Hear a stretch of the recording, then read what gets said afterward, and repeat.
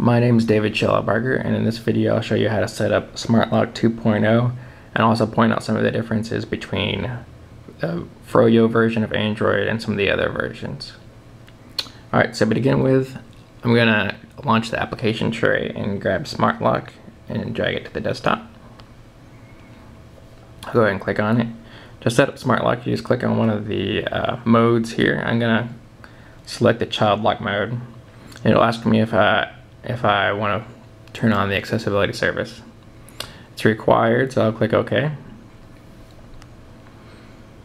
The accessibility service uh, is required because SmartLock needs a few more permissions than most Android applications.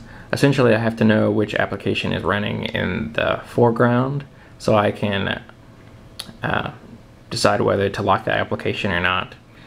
Uh, this dialog mentions that I'll be able to have access to the text that you type into applications, but I don't uh, actually access that. And even if I did access that, I can't send it off of the phone. If you remember when you installed SmartLock, you'll notice that there's no internet permissions here, so everything stays on your device. I can't send, you know, your passwords back to me anyway. So I'll click OK here, and then once we have those two check boxes, this one and this one down here checked, go back, and then we'll recheck the uh, child lock, and we'll get one more screen. This says to uh, set up a system unlock pattern.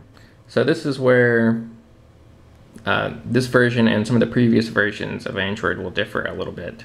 This is actually a system screen and uh, this is the Froyo version.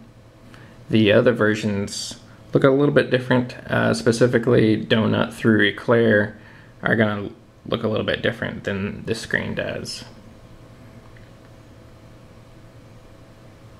Alright, so on uh, Froyo, I'm going to click Setup Screen Lock. And then right now, Smart Lock only supports the pattern option.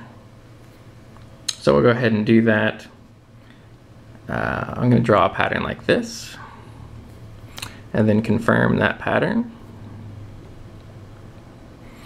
and then click back to get back into Smart Lock. And now we're all ready. If we check the box, we'll get Smart Lock is ready at the top in the notification. Let me show you how that works on the uh, older versions. All right, so from this dialog, We'll go into the system settings and this screen looks a little bit different on uh, older versions. Just scroll down and do set unlock pattern and then this is the same here. And confirm. And then we back out. We'll switch back to the Froyo build. All right, so now um, in this case child lock is running in the background. The same would happen for smart lock or no lock. No lock you won't have to set, set the system unlock pattern, but for child lock and smart lock classic you will. So the first time you turn off uh, smart lock, you'll get a dialog asking you if you want to turn off the system unlock pattern as well. On Froyo, you'll have to go to settings manually and uh, change screen unlock and then do none in order to turn it off. And now we're back to the main uh, slide to unlock screen. On the, um, oops. On older versions, this is actually a little bit easier. So I'll turn smart lock on or child lock mode and then turn it off and I can actually just click yes here and it will turn it off in the background for me. Now if I want to turn it back on, this time I don't have, it'll remember what my pattern unlock was and I can just check that box and uh, and it's all set.